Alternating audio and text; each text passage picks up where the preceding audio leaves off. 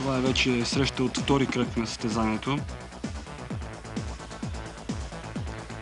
И тук ясно се видя, че Илия Казепов е добре чел правилника с неговите специфични особености, даващи право на е, победа на един от състезателите не само чрез нокаут или чрез е, някакво отказване. По-специално той се опита да постигне победа с задържане. И на два пъти успя фактически. Той спечели първия рунд но срещу Свилен Русинов е много-много трудно да си играе. Той е много прибран, с много силен удар и просто психически смазва противниците си.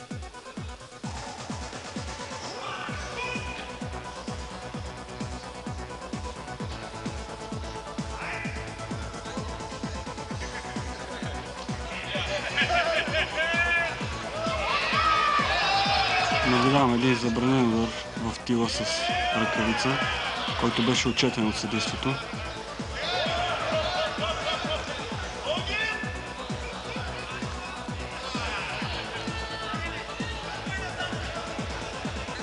Сега ще последва един опит за суплес. Но тук ясно се вижда, че прекрасният боксер Свилен Русинов не е много наясно с борцовите техники и беше задържан много успешно от Казепов.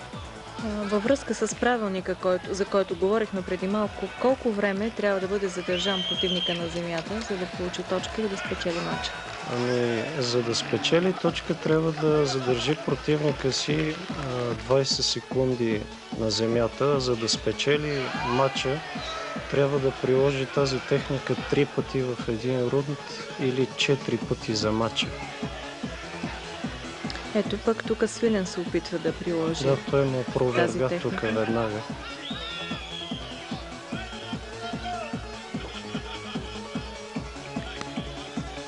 Чуваха се много коментари за тези свободни двубой. Може би хората в залата очакваха да видят предимно бокс, кикбокс, карате.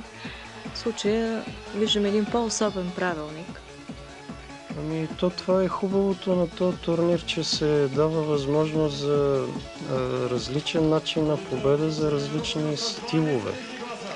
Ето го представителя на бокса с Филин Русинов, който спечели предишната си среща, а това вече е финала, който наблюдавате. Свилен Русинов срещу Валентин Давидов. Валю Давидов пък спечели служебна победа, тъй като лекарска забрана не позволи на Емо Кръстев да играе полуфинала, така че вече наблюдавате финалната среща на третото издание на свободните двубои. Тук може би зрителите малко останаха излъгани, тъй като те очакваха боксов матч от двама типични представители на бокса, национални състезатели. Те обаче показаха доста голямо многообразие от хвърлящи техники и доста интересно се получи. Всъщност това са двама колоси в областта на бокса в България. Да, но те Свилен спечели на практика матча с 3-4 атрактивни хвърляния от борба и джудо. Но той има опит. Всички знаят, че той доста често се явява на свободни двубои в Токио, Япония. И това му помага. Това му помогна в тази среща специално. Значи имаме един български самурай. Ами те не са само един. Те всички, които се занимават с бойни изкуства, малко или повече са самураи. Дали по дух, дали по изпълнение физическо. Все пак, реално погледнато, това беше една много тежка среща и за двамата. Това все пак е тежката категория. Тежка е, защото първо на този турнир, както всички знаят, няма категории има разлика чувствителна в килограмите. Валю Давидов е може би с около 25-30 кг по-лек.